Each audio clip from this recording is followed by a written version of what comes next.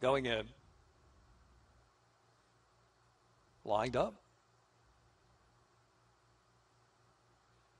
And they're off, and Sippy Cup stumbled a bit at the start.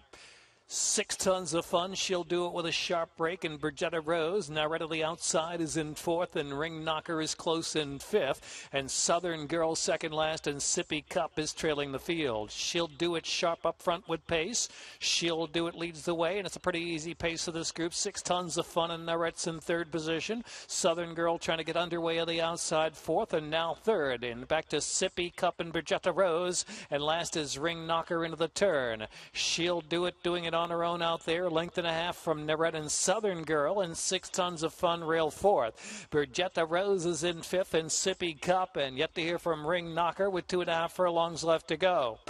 It is She'll Do It, a narrow lead, and driving outside is Southern Girl. Southern Girl trying to make that bid, but She'll Do It stays on for the final furlong and a half. Southern Girl on the outside with the head a bit high in the air, coming to even terms, now getting that head in front. Here's Southern Girl and Carol Cedeno, a furlong left to go from She'll Do It. Now a length and a half in front, then Ring Knocker from the back of the pack has moved into third. Is Southern Girl. Southern Girl opening up two and a half at the end. She'll Do It, then Ring Knocker. Nyrette and Bergetta Rose.